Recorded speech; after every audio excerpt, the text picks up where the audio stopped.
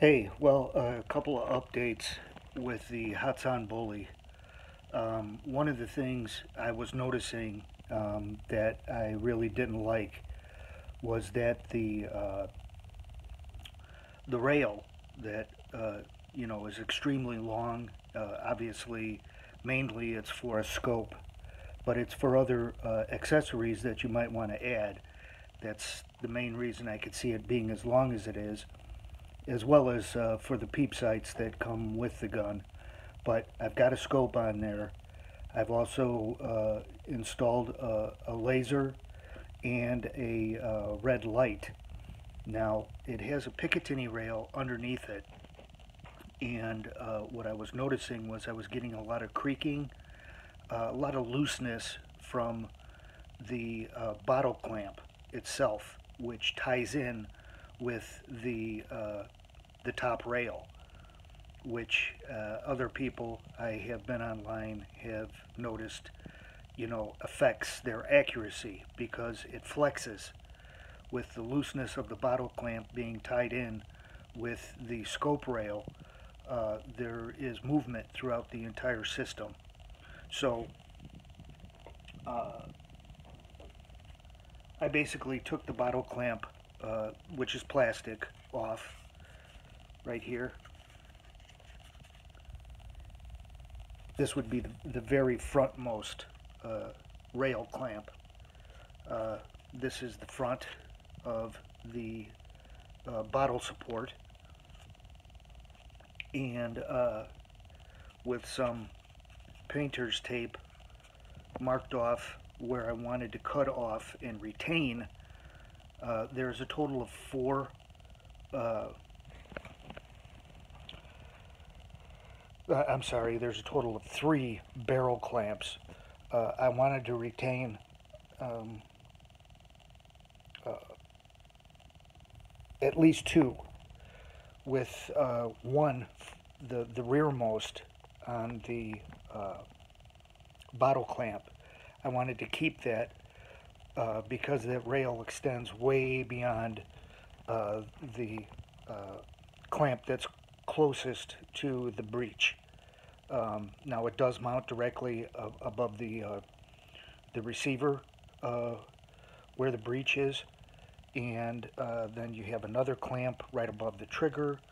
Then you had two clamps tied in with this bottle support, and uh, basically I retained one, and uh,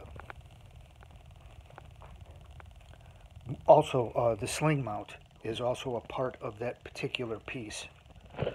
So uh, I, I cut it out with a Dremel tool, filed it down to get rid of the rough edges, and remounted the little strap that was left based on what I cut off. So this is it. The rail will attach back here at the breech you've got this clamp right above the trigger. And I kept this clamp here with this strap.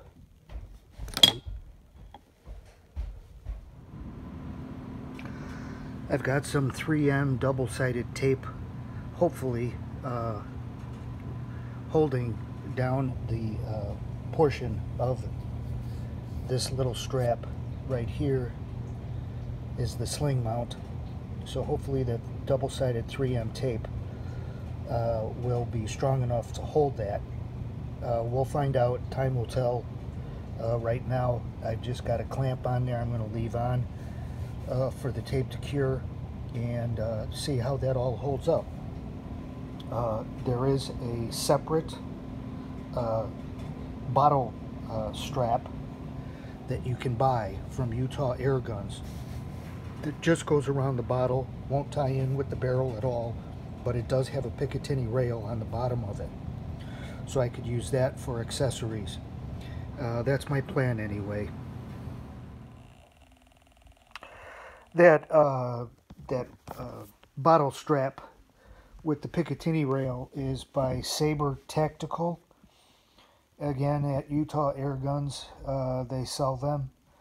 And uh, what I also did was with a Dremel tool, again, just the uh, rail, the overall length of the rail, I cut down since uh, the one uh, barrel end isn't going to be supported anyway. I took about four inches, I would say, a good four inches off of it. That way, when this is mounted back up to the gun, it'll hang out about four inches. Um, the amount that the rail will stick out now but, uh, from the last support will equal uh, what it was before it was cut. So there's no loss the barrel. In, uh, that would make it uh, support more advantageous integrity. for me.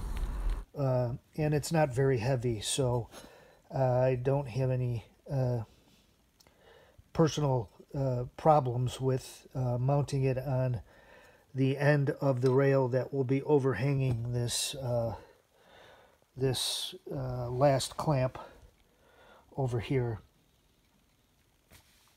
And uh, again, um, what I can do, what I've pre-thought out, is if this doesn't work, if this ends up coming loose as far as the sling mount, there are some pretty small, narrow uh, Picatinny attachments, uh, sling attachments, which I might be able to fit. Uh, the main thing I want to be able to fit is uh, actually, I'm probably going to stay away from any type of bipod um, shoot off sticks anyway and not use a bipod, but get uh, a light mounted underneath. And as long as that fits on the Picatinny rail, that's my main concern. Um, uh, if uh, an extra sling mount is needed, uh, like I said on eBay, I've spotted some very uh, narrow ones, which hopefully will allow both the light and the sling mount to be attached and that's only going to be needed if the 3M double-sided tape doesn't work. So uh, that's where I am at this point. I am going to take the uh, uh, the long rail piece with me uh, to work and buff out that cut edge. It's a little bit rough from having just used a Dremel tool to cut that down. In this photo, you can see the gap between the top of the bottle and the bottle cover itself.